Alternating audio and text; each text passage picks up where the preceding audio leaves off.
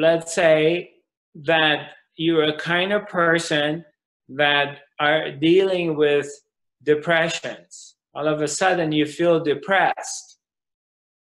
I'm just going to use this one maybe depressed and anxiety. You get these anxieties coming. Now, what you want to do also is when all of a sudden this anxiety is coming for you and you've been suffering from it, and you also want to w- look at it to see where is this coming from. You want to kind of trace it.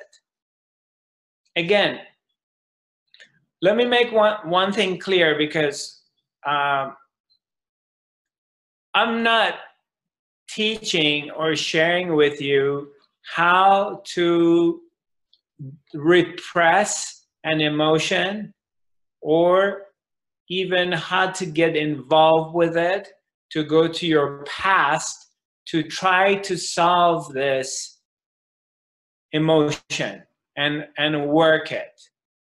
This is not what i teach okay? And there's many many different schools of in spirituality and and psychotherapy that they take you back into your past and you deal with an emotional issue whatever that is. You know you've been abused you've been um, you have you had abusive parents or something has happened to you sexually or blah blah blah whatever the story is. That's not what i teach and that's not what i share. I don't work with that.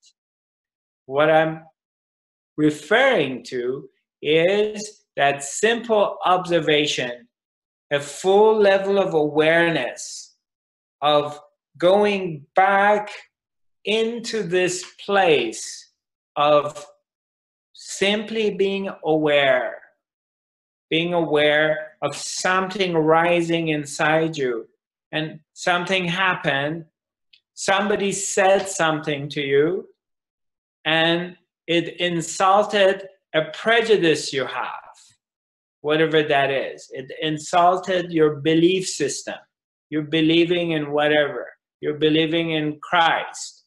You're coming from a strong Christian background, and Christ is your Savior, and that's the only way to go.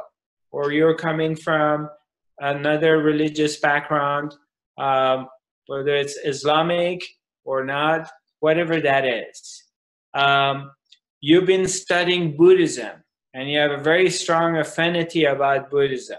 And if somebody is talking anything bad about it, it really makes you upset. Or um,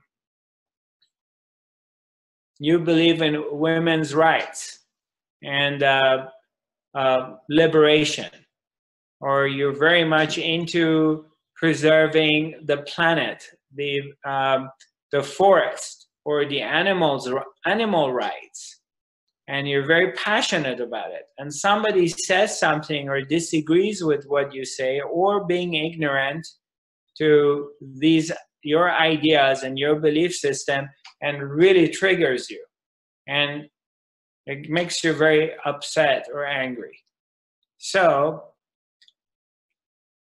we'll come back to this is you want to implement and start begin to discipline yourself.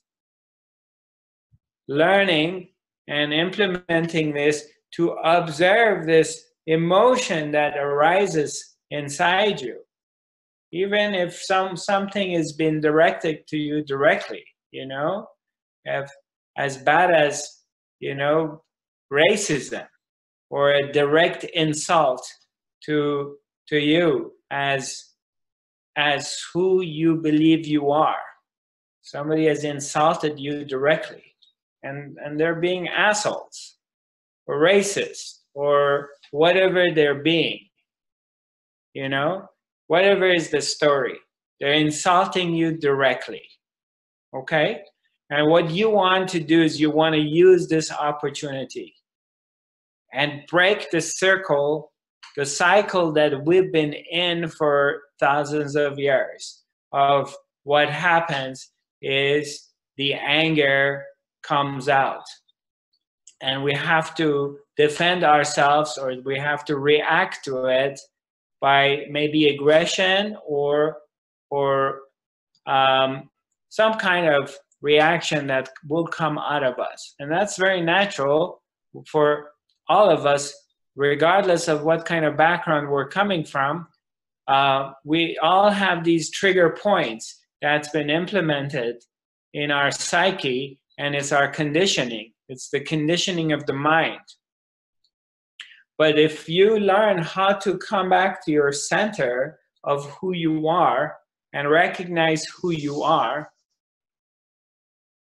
and the more you start to see who you are, you, you begin to realize that you really don't have a form, you don't have a nationality, you don't have a religion, you don't have a race, you don't, you're not a man or a woman, you are just a being and you're here.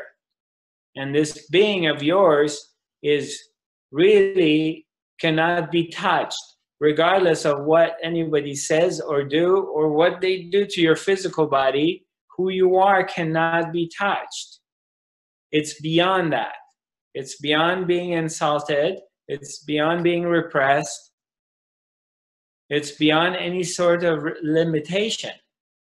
It's beyond all of it and to really stay in this place and to re reconnect and connect with it till you get really established within yourself. And realizing in this getting establishment within yourself to realize that you are really impenetrable, you cannot be touched, you cannot be scratched, you cannot be destroyed. Nothing can happen to you. You're beyond that. But to go to this place to recognize that, so it's not a mental process or another belief system because we don't want to go into another belief system. We've done that and that doesn't work is that you have to recognize it within yourself of the truth of who you are. And sometimes maybe it's difficult to recognize the truth of who you are. And sometimes maybe it's easier to recognize who you are not. And I'm just simply making suggestions to you and you take the way you like to take and what works for you and as i recommend you try different ways but this is only pointing out the direction is which direction is going to take you back into freedom. Because freedom is really what we're looking for. We have been slaves for thousands of years and we're still in slavery because we're slaves of our minds. We believe our thoughts and our emotions are real. Therefore, they could be manipulated all the time. And because of that, when we don't get what we want, we suffer.